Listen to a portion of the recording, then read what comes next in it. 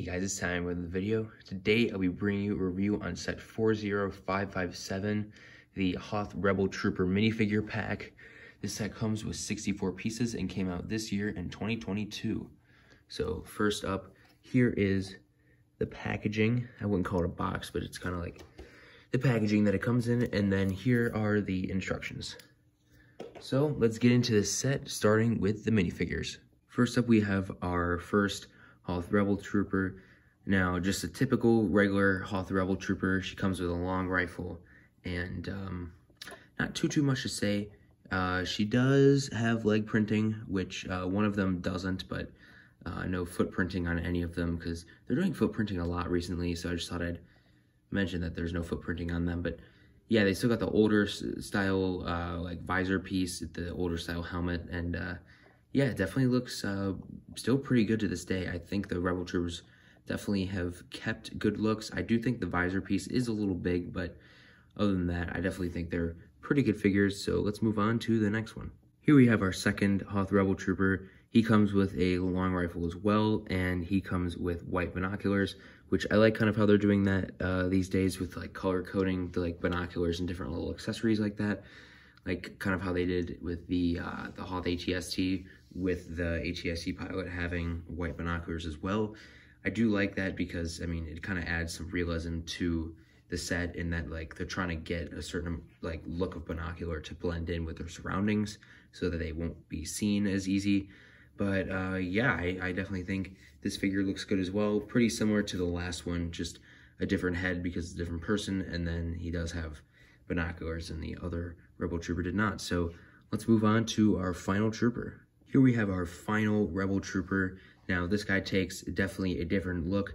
He still has a long rifle just like the others, but he uh, he's he's got a fully different outfit, no leg printing, and a completely different torso. Um, and yeah, I mean, he's got a different face, obviously, and then, yeah, I would say that's about it.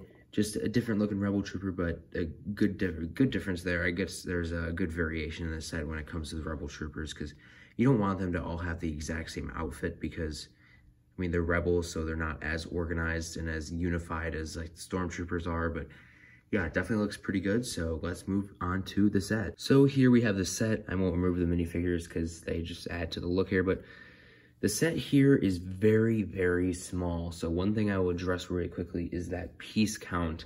Now a lot of people are not going to be happy about that because price per piece is not even close with this set and I think one thing that LEGO sees here is that people want this set for the minifigures, and two people minifigures are more valuable, so people will pay a decent bit even for less pieces, but for minifigures.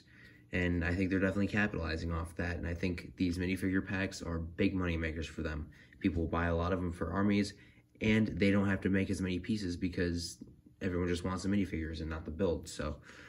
I mean, it's it's it's unfortunate. I really do not think these sets should be $15. They should be $10 at most because, again, price per piece isn't even close. And I know price per piece isn't everything, but, I mean, it, it it's kind of structured a lot of sets over the entirety of Lego's time. So, like, I, I, I really don't know. But overall, I think this set is pretty good. So let's get into some of the first little features we have here. Do have a couple of these blasters. I don't know if these are supposed to be E-webs or not. I don't think so, but they're a certain probably repeating blaster, and uh, they definitely look interesting. I don't, I don't know. They're I feel like they're a little lackluster. They literally only come with how many is this? Three, four, five, six, seven pieces. Um, so yeah, seven pieces to make this. Um, yeah, I don't know. I do like though if let's say you're to buy a bunch of these sets, you get a bunch of blasters. So it's got three blasters on the bottom. You get two of these blasters here, these E-Web blasters. And um, I definitely think that's uh, definitely worth it there. But then you get a little like battery pack or something for it. Uh, I don't exactly remember what this is for. It's maybe for like charge or something, but that is there as well. And then you do get this cannon. Uh, it's a smaller version of the cannons on Hoth that they have. I don't, the satellite dish cannons and definitely looks decent. Um, it's not my favorite look. I think they could have done better with it, but it looks all right. I mean, it's it, it's another addition to the build, so I mean, I think it does its job. But yeah, um, not not too much to say about it. It does rotate, as you can see on this little like snowbank here. you can raise or lower the gun, and then you can also raise or lower like the control pad there with some handlebars there for someone who's controlling it. But yeah, that is about it for this set, so let's finish out this review. Well, that is going to about do it for this set review, guys. Thank you so much for watching. Like the video if you liked the review, comment down below your thoughts on the set, and subscribe to the channel if you're new. So, my final thoughts on this set, I think this set overall is a pretty good set. I think it comes with good minifigures and decent enough builds. I know the minifigures are the most important in this set, and that's why people buy it, not for the build, so I won't take away this thing's points because of the builds and their kind of lacklusterness, but this set has been a little difficult to talk about, especially the minifigure part, because I know there's so many people out there who are all like upset about the face colorings and the genders of the figures, which in my opinion, I could care less.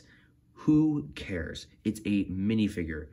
Why do you care so much? I don't care if you think it needs to be super, super accurate. Just replace the heads. I mean, sure, you have to go out of your way and buy different colored heads because you're a racist piece of crap and you want to change out the heads. Who cares? I don't give a crap at all. I, it, it, it's stupid, this entire argument of, oh, the figures have to be white and they have to be male because that's all we saw in Hoth. That is not true. That is not true at all. If you look throughout the entire scenes, you'll see a few women and you'll see a few colored people. It does not matter what skin color they are. Who cares? Change the goddamn heads if you are that racist and that much of a piece of shit. So that's all I have to say about that. Uh, I just wanted to get that elephant out of the room because it was a little difficult to talk about there. I didn't want to like mention their races or anything to sound racist because I really could care less. They're just figures. But I don't know, but overall the set is decent. The price per piece thing really does suck. I think these sets should be $10 and um, yeah, that's going to be about it for the set review. So thank you so much for watching and I'll see you in another video.